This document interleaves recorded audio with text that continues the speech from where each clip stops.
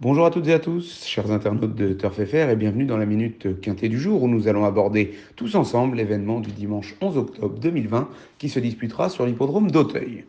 Avant tout, revenons sur le quintet plus de la veille qui avait lieu en nocturne sur l'hippodrome de Paris-Vincennes.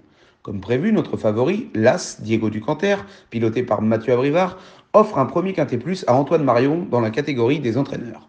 Top Prono et Turf Sélection donnent quintet plus dans le désordre, celui-ci faisant tout de même 139 euros et 80 centimes. Beaucoup réalisent la même performance du côté du concours de prono gratuit. Jamaria, avec Quintet Plus dans le désordre accompagné des bonnes bases gagnantes et placées, marque seul 374,50 Risque peu et Sir Louis le suivent de très près avec un peu plus de 300 points au compteur et complète donc le podium du jour. Bravo à tous les trois. Allez, étudions maintenant le tiercé quarté Quintet Plus qui se disputera sur l'hippodrome d'Auteuil. Le prix André Adel, troisième course de la Réunion 1, mettra à l'honneur des sauteurs âgés de 5 ans et plus. Sur le parcours du steeplechase des 3700 mètres, nos 16 compétiteurs en découdront sur un terrain collant. Une fois encore, nous avons le sentiment que les plus grosses valeurs handicap vont assurer le spectacle.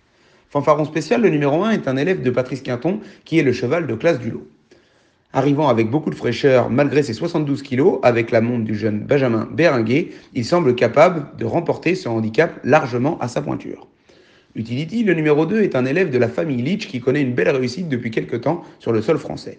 Septième récemment d'un gros handicap avec Bertrand Lestrade, il retrouve cette fois-ci James Rivley à ses commandes et ne devrait pas être loin de la vérité. Gastigretti, le numéro 3, sera lui monté par justement Bertrand Lestrade. Aimant aller de l'avant et en grande forme actuellement, s'il prend les commandes de l'épreuve et la poudre d'escampette, il sera difficile pour les autres de le rattraper. Sur Roi, le numéro 6 est un élève de David Cotin qui reste sur deux belles victoires en 2020. Venant de s'imposer pour ses débuts en steep sur l'hippodrome de Compiègne, il débute à Hauteuil avec des ambitions. Elisa Desobo, le numéro 7, est une jument perfectible. Si Olivier Join l'a bien en main, elle peut faire tilt. Jamena, le numéro 10, progresse et ne va pas tarder à remporter un quintet plus de ce genre. En cas de non partant, Embrun Doudéry, le numéro 4, qui partira avec la confiance d'Anne-Sophie Paco, entrera alors dans notre pronostic en 6 chevaux.